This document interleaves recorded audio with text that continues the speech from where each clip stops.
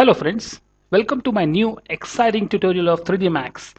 I'm Abhishek Inamdar. Today I will show you how to make occlusion pass in 3D Max. Uh, but my previous tutorial was uh, I have used Mental Ray but uh, in this occlusion pass we will make occlusion fast very fast at lightning speed you can say. So so let's get started. I'll take this material I'll, I'll just off this thing I'll make slightly gray and slightly this one also gray. This one will white.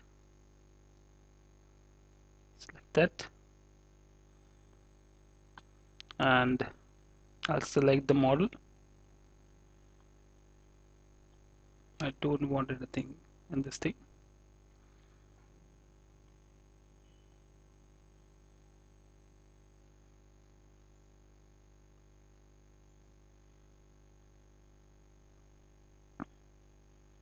I don't want even lights. Select all objects. Material I'll just assign this material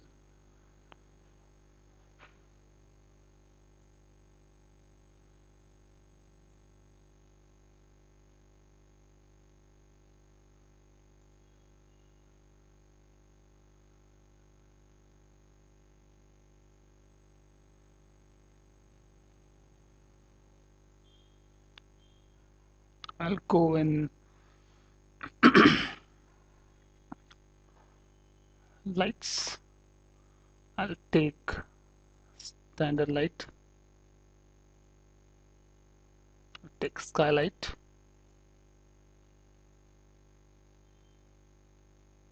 I don't want any other light to my view. Just delete all everything else.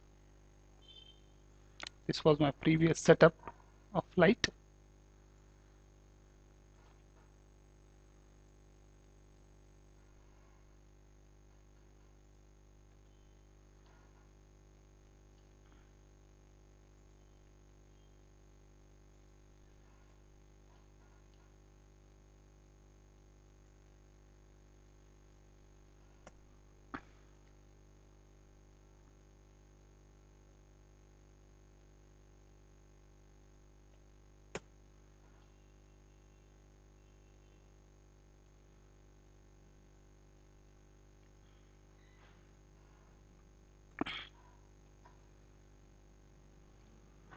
I'll press 8 I don't want all those things. I'll just clear it off.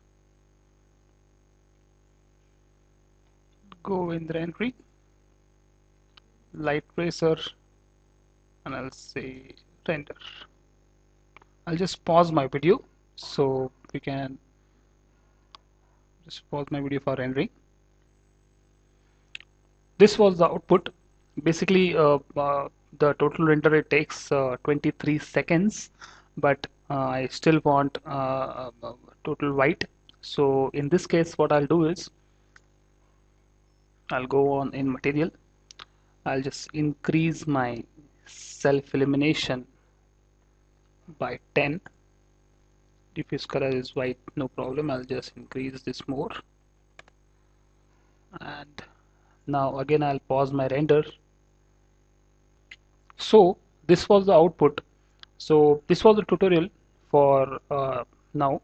This this was a occlusion pass I want to show you and not using a V-ray and not using mental ray.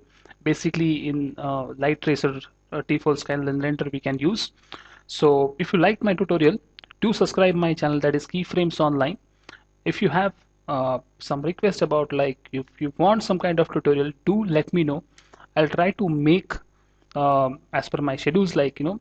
So by then uh, enjoy